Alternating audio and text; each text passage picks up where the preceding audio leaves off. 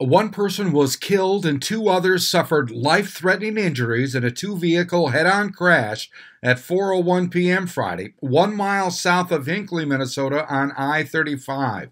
The State Patrol says a vehicle driven by 21 year old Tabitha Sigler of Cambridge was northbound and drifted into the southbound lane, striking another vehicle head on.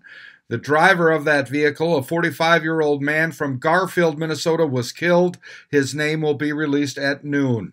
Sigler and her passenger, 36 year old Santino Chavez of St. Paul, both suffered life threatening injuries. I'm Neil Carlson reporting for iNewZ.TV.